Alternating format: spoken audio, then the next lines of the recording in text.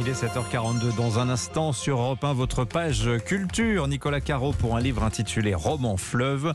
Et Laurie Choleva, notre experte cinéma avec sous le bras peut-être bien le film de l'année. Comment il s'appelle ce film, Laurie? Everything Everywhere All at Once. Voilà, ils n'auraient pas pu le voir en français, non, c'était pas possible. Bon, mais d'abord l'édito international. Bonjour Vincent Hervouette.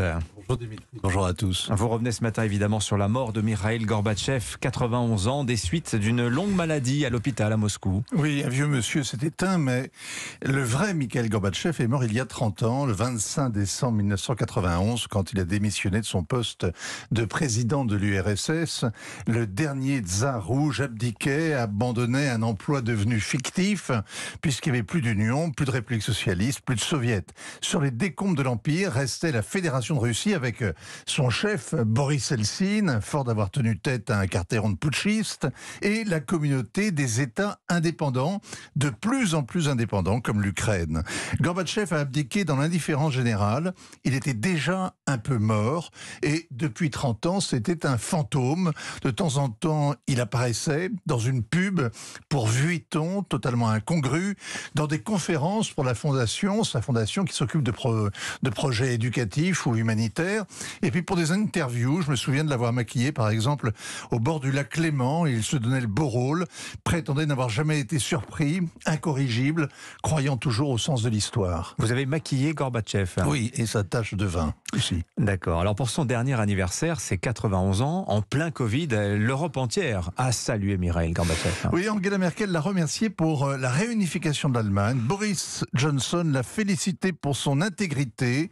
Des hommages funèbres, une répétition. Vladimir Poutine a loué l'homme d'État remarquable qui a influencé de manière significative le cours de l'histoire mondiale.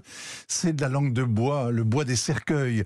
En vrai, pour euh, Vladimir Poutine, la disparition de l'Union soviétique est la plus grande catastrophe géopolitique du siècle dernier et il tente de l'effacer en imposant à l'Ukraine le retour à la doctrine Brezhnev de la souveraineté limitée que Gorbatchev avait euh, justement liquidée. Alors Gorbatchev est le fossoyeur de l'URSS, mais c'est aussi l'homme du rapprochement Est-Ouest. Et il disparaît le jour même où l'Union européenne discute de priver les Russes de visa, c'est-à-dire de reconstruire un beau mur bien étanche. D'une certaine manière, Gorbatchev a réussi une chose inouïe et il a tout raté. C'était un pur produit de l'appareil et il a cru qu'il pourrait le réformer.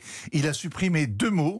Union soviétique, en voulant en imposer deux autres, la perestroïka, la restructuration, et la glasnost, la transparence. Autrement dit, des réformes libérales pour sortir l'empire du déclin dans lequel il s'enfonçait et la fin du mensonge permanent dans lequel vivait le pays depuis 1917. Il s'y est cassé les dents, le système était irréformable, la Russie a été ensevelie sous les décombres du communisme, et ce qui s'est relevé, eh bien, c'est un régime opaque, verrouillé, que l'Occident tient en quarantaine. Vincent, tout le monde souligne ce paradoxe. Gorbatchev était plus populaire à l'Ouest qu'à la maison. Oui, à Paris, il y a toujours eu bien plus de Gorbatcheviens qu'à Moscou. Les communistes, les compagnons de route, et puis aussi la droite euh, qui, qui avait peur de l'armée rouge, ont été tellement contents de lui qu'on lui a donné le prix Nobel de la paix pour avoir mis pacifiquement fin à la guerre froide.